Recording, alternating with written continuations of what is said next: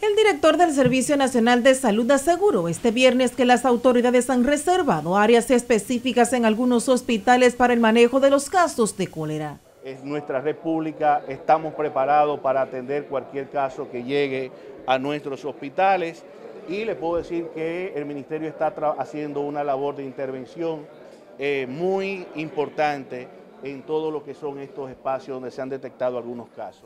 Mario Lama hizo un llamado a la población para que tome las medidas de prevención ante la enfermedad luego de entregar equipos en el Hospital Salvador Begotier que eran requeridos hace más de 30 años. Lo que viene a fortalecer los servicios de salud, lo que viene a fortalecer la calidad de los servicios de salud. Ningún centro de salud en este momento tiene la cantidad de equipos que se le ha donado al Departamento de Urología.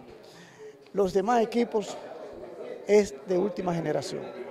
Con eso le quiero decir todo, es eso le va a permitir al personal trabajar en otra dimensión.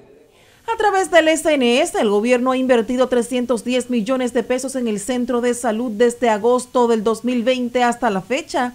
Sin embargo, Mario Lama reconoce que aún faltan muchas intervenciones para que pueda ser un hospital modelo. Para Telenoticias, Paola Báez.